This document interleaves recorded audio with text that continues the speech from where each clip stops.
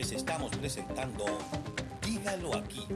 Amigas y amigos, retomamos la información. De inmediato tenemos que hacer contacto con la costa este de Estados Unidos. Y es que allí es donde se está desarrollando en estos momentos unas fuertes ráfagas de viento que ni siquiera eh, ha llegado a aproximarse lo suficiente esta formación tormentosa, este huracán Florence, a la zona continental estadounidense y ya se sienten los efectos en eh, lo que es la población circunvecina. Las autoridades están haciendo su trabajo, eh, han alertado durante las últimas, las últimas horas para que todas las familias, todos los grupos comunitarios tengan que evacuar de inmediato lo que es esta grave y gran zona de impacto. Se trata de una movilización que a pesar de que cuenta con la contundencia número 2, todavía representa bastante peligro. De hecho, conversamos con representantes del Servicio Nacional de Meteorología y nos explicaban que así se degradase esta formación a depresión tropical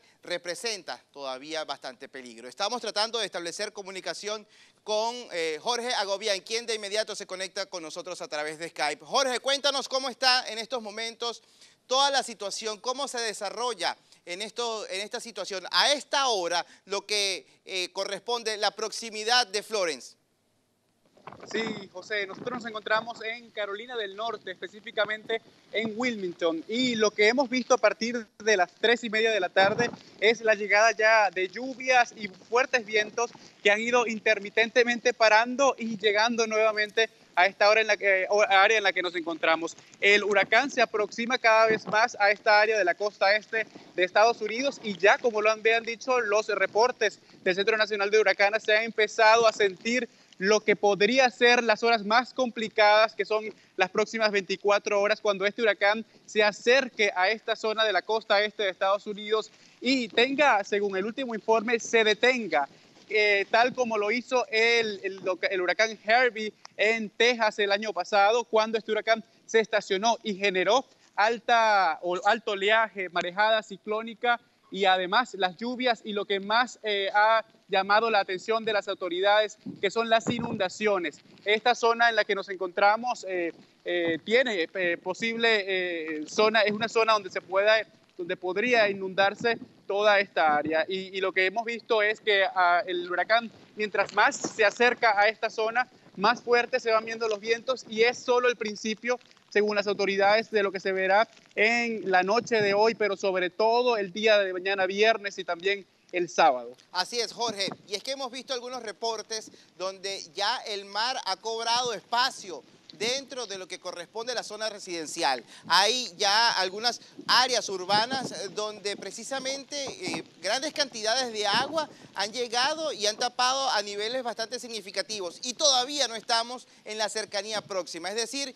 que las autoridades no han exagerado. Se trata de una alerta bastante serio por la gravedad y la cantidad de niveles de lluvia y los vientos tan huracanados que vienen.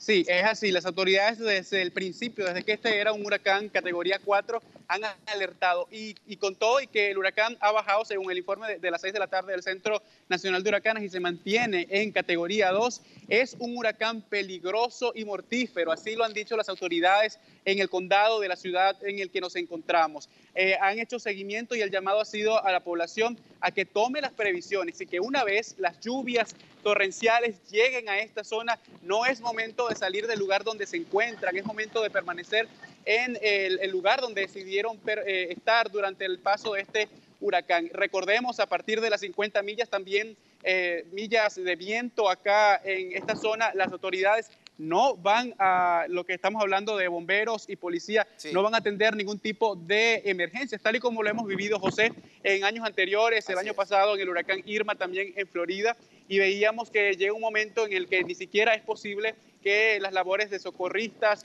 y de rescate puedan hacer algo. Entonces, lo que se está viviendo acá, y creo que así lo ha tomado la mayoría de la gente que han evacuado la zona, sobre todo las áreas de evacuación que reconoció el estado de Carolina del Norte, la gente ha podido salir ya y estar en los refugios. Al menos 20 refugios han sido establecidos en este estado de Carolina del Norte y en el condado de New, de New Hanover, donde nos encontramos ahora, hay cinco, de los cuales hasta las 3 de la tarde solo tres estaban llenos. No sabemos hasta esta hora como si los otros, si los otros albergues se han también copado por la llegada de más personas. Pero eh, el, mensaje casi que cada hora de las autoridades ha sido, ha sido eh, tomemos en serio este huracán que viene con fuerza y aunque están preparados para ver lo mejor, eh, también están preparados para recibir lo peor y atacar esta situación. Rápidamente, Jorge, de acuerdo a un reporte veíamos que la empresa encargada del servicio eh, de energía eléctrica, que cuenta con 4 millones de suscriptores, calcula que cerca de tres cuartos de su clientela se va a quedar sin servicio. Esto quiere decir que la situación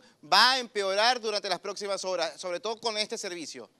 Es así, José. De hecho, ya en este momento, en el momento en, que el huracán apenas se acerca o se asoma a la costa este, tenemos reporte de que ya 17 mil hogares en Carolina del Sur del norte, perdón, han perdido el servicio eléctrico y se estima que 3 millones de hogares lo pierdan durante todo, eh, durante las próximas 24 y 48 horas y que esto puede extenderse por semanas mientras las lluvias continúen en esta zona, porque recordemos, no es un huracán que va a pasar el viernes o el sábado. A las lluvias se mantendrán, según las autoridades, por los próximos días, incluso hasta el día lunes estaríamos viendo lluvias y fuertes vientos en esta zona de Carolina del Norte. Jorge, muchísimas gracias por el reporte. Jorge Agobián, reportero de La Voz de América, corresponsal en estos momentos en, en North Carolina, en compañía de Jacopo Luzzi. Abrazo y cuídense mucho a la distancia para que vuelvan a contar la historia pronto.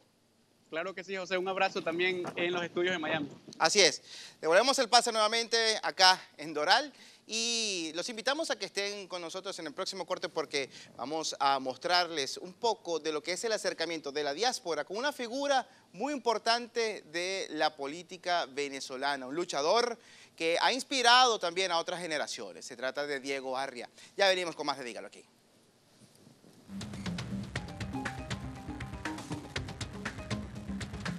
les estamos presentando